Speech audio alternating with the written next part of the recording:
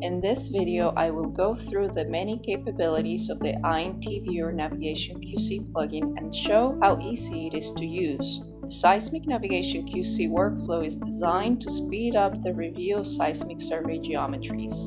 Using NavQC, you can quickly plot P190 and SegWide nav data for quality control of receiver and shot points. You can also calculate survey attributes such as CMP and receiver fold to create useful and attractive geometry QC maps. Let's open a WAD survey P190 file using NavQC.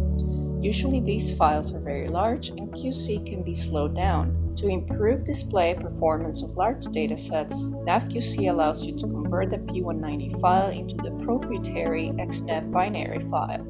In addition, you can reproject P190 files using the robust GIGS compliant coordinate transformation tool. Let's now convert the WADS P190 file to the binary XNav format. Go to Workflows, NavPrep Workflow, click on Convert P190 to Binary. Navigate to the folder containing your P190 files.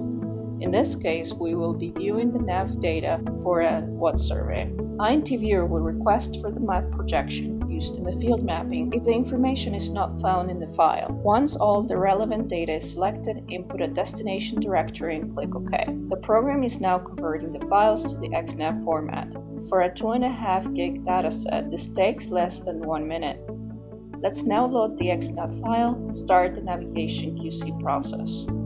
Go to Workflows, NavQC Workflow, Open Survey. Navigate to the XNav survey folder. Once all the data is selected, click OK. The program reads the files and the shot point locations are quickly displayed on the map view. Let's customize this display to add the receiver points and highlight their offset distribution. Let's change the color of the shot points and enable the receiver points display, which can be color-coded by offset class. In this case, I will keep the color and increase the transparency. Once I'm done, I will adjust the decimation so that we can see most of the receiver points.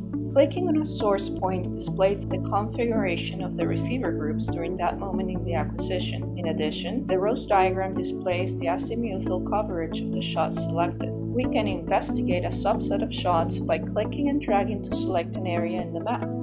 To create QC maps, we first have to define an area to grid. I will quickly demonstrate one way to do this in NavQC by defining one grid corner and other grid parameters. Once the grid is defined, Let's create a common midpoint fold map for the survey. We can adjust the color bar to better reflect the data. We can now see that the surface CMP fold varies considerably for this survey. INTViewer's NavQC plugin provides an easy and quick way to view seismic navigation data and create attractive maps along the way. For more information on INT Viewer, please visit us at int.com.